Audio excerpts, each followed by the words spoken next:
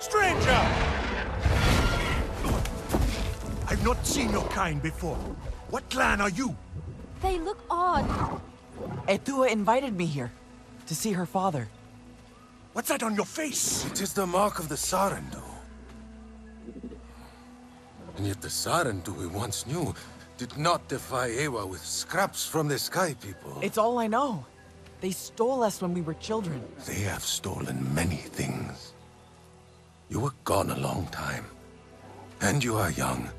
Has your spirit been molded by the Sky People? Or do you remember the ways of your clan? Shoo! Put that away! Sharp eyes. A Sarentu's gaze.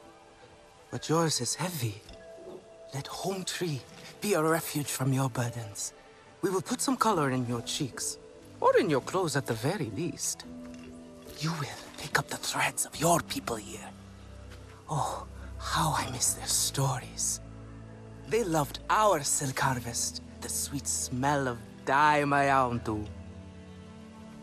Katnat, let me take the Sarentu. The poor child knows nothing of our ways. Go. We will speak more when you are settled.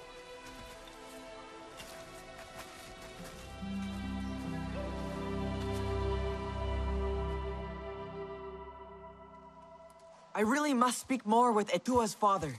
About the resistance. Later, my Yagdu. Here's our Uluk Ektan, our clan's leader. Let us clean you up a bit first. You would frighten the hide off an Angsik looking like that. Besides, I would not mention those sky people if I were you. They are nothing but trouble, and Katnat does not like trouble. Let me show you off a bit Poor instead. creatures hmm? of forest Will you allow me that? Find nothing to sustain It has been an age since we had Sarentu around here. Your people certainly made life more interesting. One time, they told us a tale about the rare mating rituals of the giant Zakru. Apparently, it can take days. but there will be time for that later. Our great tree has many stories, lived many lives, hosted your ancestors as our guest before you. And there was not one Sarentu who could resist how our dyes dance.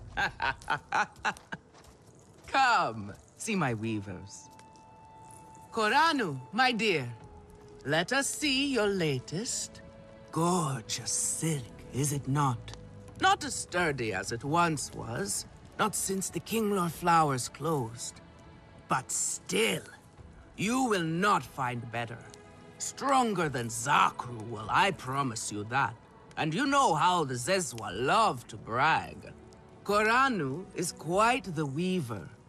She will help you out. Anything you need. Yes, please take my mind off this. I've been working on it for hours, and it's still not quite where I want it. You see, I hope I have something you like.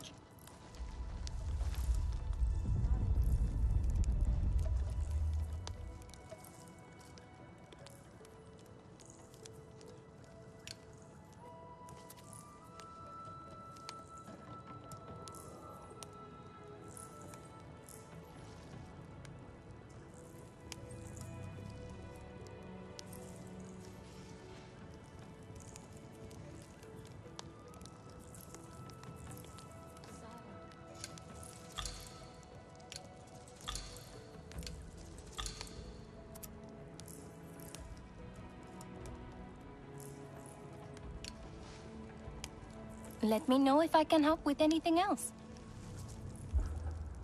you see, now is the time for beauty, for art. Speaking of which...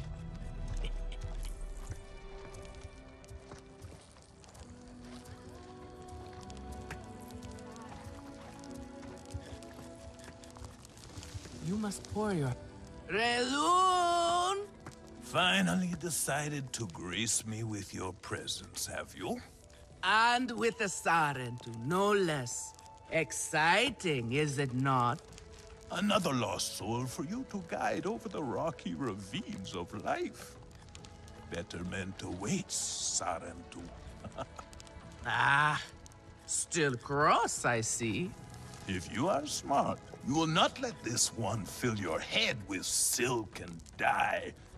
The heart of the Arana is taste. Relund is a prickly one, but he is the very best cook. would like this. He knows it too. And here, my dear friend, Kitangi. Nafika, taking the Sarentu under your wing already. A necessity, I should think. Look at these clothes. Pitiful. Rough and prickly like a hermit bud. You lack the grace of your ancestors. They knew how to dress. Rough and prickly is what I'm used to. Well, now you will shine brightly. Rival the rainforest with our collars, my own too. Our silk will serve you well. Strengthened with Sturmbeest hide, it will stop you from getting chewed up out there. Or at least, you will be hard to swallow. Sturmbeest? Can this child track? I've done okay so far. Okay. What do we think of okay? Do you thrive on okay, child? Or do you only survive? Itu is on a hunt. I'm sure he will make a fine guide. Indeed, if you can find him. There is a hunting camp near the water. Itu will be there. But do not upset his hunt. He will not thank you for that. Go on, my two. A respectful hunt will show Katnat you remember the ways of the people. There is no need to rush yourself, child. Go now if you want, but stay and enjoy our beautiful silk harvest if you need a little rest. No, Aran.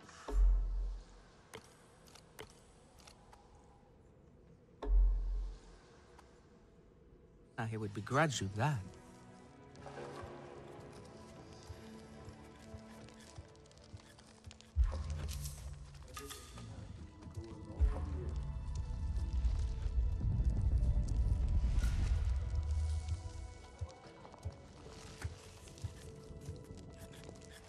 Sky people.